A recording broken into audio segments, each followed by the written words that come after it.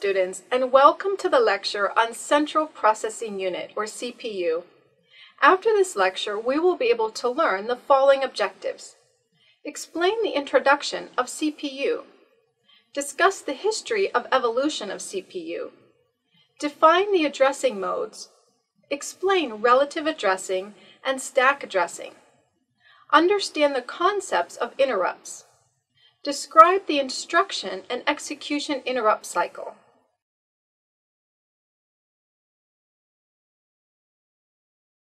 Let's start with the introduction of Central Processing Unit, or CPU. In order to work, a computer needs some sort of brain or calculator. At the core of every computer is a device roughly the size of a large postage stamp. This device is known as the Central Processing Unit, or CPU for short. This is the brain of the computer. It reads and executes program instructions, performs calculations, and makes decisions. The CPU is responsible for storing and retrieving information on disks and other media.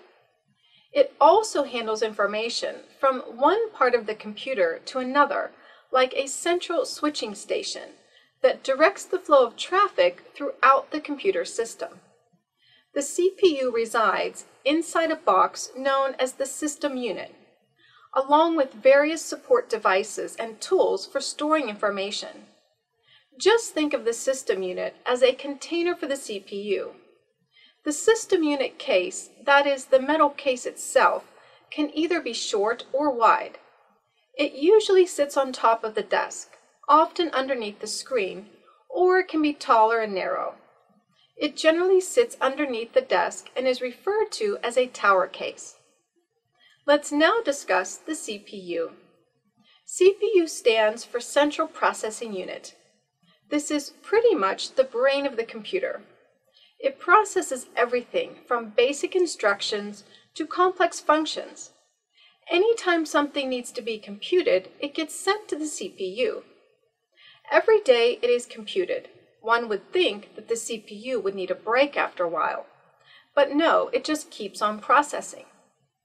The CPU can also be referred to simply as the processor. The CPU is also known as processor, computer processor, microprocessor, and central processor, and the brains of the computer. The CPU will repeat these steps and continuously carry out these operations. A lot of people have a wrong impression that a CPU is a command center. They believe it generates all of the commands and the computer will follow those commands and operate. Actually, the CPU will not generate commands for the computer. Central Processing Unit, otherwise known as a processor, is an electronic circuit that can execute computer programs. Both the miniaturization and standardization of CPUs have increased their presence far beyond the limited application of dedicated computing machines. Modern microprocessors appear in everything from automobiles to mobile phones. There are two major kinds of instruction level parallelism, or ILP, in the CPU both first used in early supercomputers. One is the pipeline, which allows the fetch, decode, execute cycle to have several instructions underway at once. While one instruction is being executed, another can obtain its operands, and a third can be decoded, and a fourth can be fetched from memory. If each of these operations requires the same time, a new instruction can enter the pipeline at each phase, and for example, five instructions can be completed in the time that it would take to complete one without a pipeline. The other sort of ILP is to have multiple execution units in the CPU duplicate arithmetic circuits, in particular, as well as specialized circuits for graphics instructions or for floating point calculations. With this superscalar design, several instructions can execute at once. History of CPU. The first CPU chip was created by Intel back in the early 70s. Besides Intel, companies such as IBM, Motorola, Texas Instruments also joined the CPU market and started designing their own CPUs. At that time, the CPU was so simple that it could only be used on a calculator. During the 1980s, the CPU had a great evolution. The size increased from 4 bits to 16 bits, then all the way to 32 bits. Its functionality and capability also had a substantial improvement, so they gained a great variety of applications. However, the cost for a CPU declined, and that made the home computer possible. In the 90s, Intel played an important role. They developed the well-known Pentium series processors for home computers. Meanwhile, AMD, or Advanced Micro Devices, joined the game and started the match with Intel. CPU building blocks. The CPU itself is an internal component of the computer. Modern CPUs are small and square and contain multiple metallic connectors or pins on the underside. The CPU is inserted directly into a CPU socket, pin side down, on the motherboard. Arithmetic Logic Unit, or ALU. The arithmetic logic unit is the brawn of the computer, the device that performs the arithmetic operations like addition and subtraction, or logical operations like AND, OR. An ALU from four hardware building blocks. Because the MIPS word is 32 bits wide, one needs a 32-bit wide ALU. Let us assume that one will connect 32 1-bit ALUs to create the desired ALU. Therefore, start by constructing a 1-bit ALU. The ALU performs arithmetic calculations and data manipulation, for example, comparisons, sorting, combining, etc. The computer's calculator is a part of the CPU known as the arithmetic logic unit. It holds data and instructions, which are in current use. Control unit. The control unit, or CU, extracts instructions from memory and decodes and executes them, calling on the ALU when necessary. This is done by the control unit of the CPU, which sends command signals to the other components of the system. Some important points related to the control unit. The control unit directs the entire computer system to carry out stored program instructions. The control unit must communicate with both the arithmetic logic unit and main memory. Memory unit. The memory unit is the part of the computer that holds data and instructions for processing. The main functions of memory unit are, although it is closely associated with the CPU, in actual fact it is separate from it. Memory associated with the CPU is also called primary storage, primary memory, main storage, internal storage, and main memory. RAM. RAM stands for Random Access Memory. This is really the main store, and it is the place where the programs and software get stored. If the central processing unit needs to store the results of calculations, it can store them in RAM. Random access memory can have instructions read from it by the CPU, and also it can have numbers or other computer data written to it by the CPU.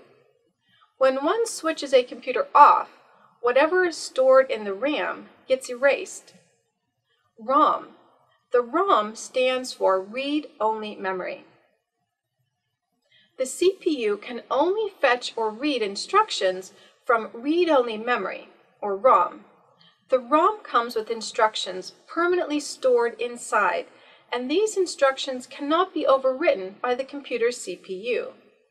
The ROM memory is used for storing special sets of instructions, which the computer needs when it starts up. When one switches the computer off, the contents of the ROM does not become erased, but remains stored permanently. Therefore, it is non-volatile, these are kept in the main store or memory.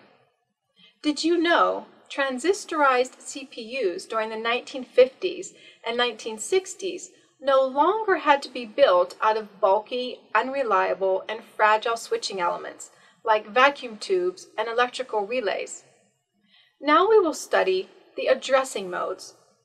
Addressing modes provide different ways for accessing an address to given data to a processor. Operated data is stored in the memory location. Each instruction requires certain data on which it has operates. There are various techniques to specify the address of data. These techniques are called addressing modes. Indirect addressing modes. In the indirect addressing mode, the instruction specifies a register which contains the address of the operand. Both internal RAM and external RAM can be accessed via indirect addressing mode. The effective address of the operand is the contents of a register or main memory location, location whose address appears in the instruction. Indirection is noted by placing the name of the register or the memory address given in the instruction in parentheses. The register or memory location that contains the address of the operand is a pointer. When an execution takes place in such a mode, instruction may be told to go to a specific address. Once it's there, instead of finding an operand, it finds an address where the operand is located. Immediate addressing mode. In the immediate addressing mode, direct data is given in the operand, which moves the data in an accumulator. It is very fast. Index addressing mode. In the index address mode, the effective address of the operand is generated by adding a content value to the contents of the register. The mode is called index address mode. The address of the operand is obtained by adding to the contents of the general register, called index register, a constant value. The number of the index register and the constant value are included in the instruction code Index mode is used to access an array whose elements are in successive memory locations. The content of the instruction code represents the starting address of the array and the value of the index register, and the index value of the current element. By incrementing or decrementing index register, a different element of the array can be accessed. Register mode. The name, the number of the CPU register, is embedded in the instruction. Displacement mode. Similar to index mode, except instead of an index register, a base register will be used. Base register contains a pointer to a memory location. An integer, constant, is also referred to as a displacement. The address of the operand is obtained by adding the contents of the base register plus the constant. The difference between index mode and displacement mode is in the number of bits used to represent the constant. When the constant is represented by a number of bits to access the memory, then one has index mode. Index mode is more appropriate for array accessing. Displacement mode is more appropriate for structure, records accessing. Relative addressing. For relative addressing, the implicitly referenced register is the program counter, or PC. Base register addressing. The reference register contains a memory address, and the address field contains a displacement from that address. Indexing. The address field references a main memory address, and the reference register contains a positive displacement from that address. Stack addressing. A stack is a linear array or list of locations. It is sometimes referred to as a pushdown list or last in, first out queue. A stack is a reserved block of locations. In 8051, we have mainly nine addressing modes, which are immediate addressing mode, register addressing mode, index, indexed addressing mode, to name a few. First of all, we'll discuss immediate addressing mode. In this mode, our operand is an immediate data, which is constant. As you know, in assembly language, immediate operands are preceded by a pound sign as shown. For example, we have instruction move A, comma, hash 6AH, where 6AH is the immediate operand. As you can see, the accumulator is holding 6AH, the immediate value. The next mode we are going to discuss is register addressing mode. In this mode, one of the operands is a register holding the data to be manipulated. The source and destination must be of same size.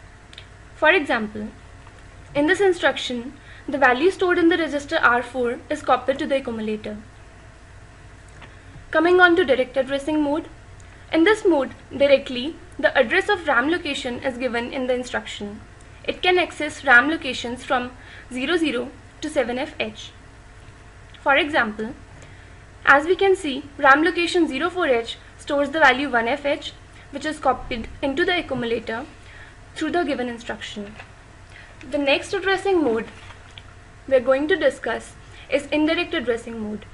Here, register is used as a pointer to data. The register holds the address of the RAM location containing data. At sign is used before register indicates that the register is used as a pointer. For example, here register R0 stores the value 20H. Using this instruction, the value stored in the memory location 20H is copied to the accumulator. As you can see, accumulator contains 2FH contained in 20H. Indexed addressing mode. This mode used a base register, either a program counter or a data pointer, and an offset, generally the accumulator. Jump tables or lookup tables are easily created using index, indexed addressing. For example, here data pointer is holding the address location 01FEH and with the accumulator value 02H as an offset, data stored at location 0200H is moved to the accumulator. The next mode is absolute addressing mode, only to be used with a call and a jump instructions. These 2-byte instructions allow branching within 2K page of the code memory. Within any 2K page, only lower 8 bits, 11 bits change. Next mode to be used is long addressing mode. This mode is used with lcall and ljump, and ljump instructions. It includes full 16-bit destination address as bytes 2 and 3 of instruction. Byte 1 is containing the opcode. In this mode, full 64k code space may be used, but instructions become long and position dependent. Coming on to bit addressing mode. As we know, RAM locations from 20 to 2FH and some of the special, fun special function registers are bit addressable. Using some instructions such as setb, CLR, etc., we can access these bits as shown. The last addressing mode we are going to discuss is the relative addressing mode. In this mode, an 8-bit sign value, an offset we call it, is added to the program counter to form the address of the next instru instruction executed. Range of the jumping here is from minus 128 to 127 locations. For example, in instruction S jump there as shown, assembler is assigning an offset 3EH as byte 2 of the instruction where 1002 plus 3E is equal to 1040H which is the destination address. This mode provides a position and independent code but the range of jumping is limited. Let's now learn about the concepts of interrupts. An interrupt is the automatic transfer of software execution in response to a hardware event that is asynchronous with the current software execution. This hardware event is called a trigger. The hardware event can either be a busy to ready transition in an external I.O. device, like the UART input-output, or an internal event, like bus fault, memory fault, or a periodic timer. When the hardware needs service, signified by a busy to ready state transition, it will request an interrupt by setting its trigger flag. A thread is defined as the path of action of software as it executes. The execution of the interrupt service routine is called a background thread. This thread is created by the hardware interrupt request and is killed when the interrupt service routine returns from interrupt. for example, by executing a BXLR. A new thread is created for each interrupt request. It is important to consider each individual request as a separate thread because local variables and registers used in the interrupt service routine are unique and separate from one interrupt event to the next interrupt. In a multi-threaded system, one considers the threads as cooperating to perform an overall task. Consequently, one will develop ways for the threads to communicate, for example in FIFO, and to synchronize with each other. Most embedded systems have a single common overall goal. On the other hand, general purpose computers can have multiple unrelated functions to perform. Interrupt hardware. When a device or port is ready, a device or port generates an interrupt, or when it completes the assigned action, or when a timer overflows, or when a time at the timer equals a present time in a compare register or on setting a status flag. For example, on timer overflow or compare or capture of time, or on click of a mice on a computer. Generally, there are three types of interrupts, and these are external interrupt, internal interrupt, and software interrupt. External interrupt. The external interrupt occurs when any input and output device request for any operation and the CPU will execute that instruction first. For example, when a program is executed and when one moves the mouse on the screen, then the CPU will handle this external interrupt first, and after that it will resume with its operation. Internal interrupts. The internal interrupts are those which are occurred due to some problem in the execution. For example, when a user performing any operation which contains any error and which contains any type of error the software interrupts. The software interrupts are those which have made some call to the system. For example, while one is processing some instructions and when one wants to execute one or more application programs. Instruction and execution interrupt cycle. It is very important to appreciate the fact that an operating system or OS is just like any other program albeit a little bit more complex as compared to user-written programs. The OS provides the functionality to load and execute other programs and thus possesses certain privileges which user programs do not possess. A user program can and does request for OS intervention through a mechanism called system calls, for example, trap, page fault, etc. Once a computer has been powered on, it performs a continuous cycle of fetch next information from memory, decode the instructions, execute the instruction. An instruction as the name instructs the computer what to do. In simple terms, every line of a program that one user writes instructs the computer to perform a series of operations.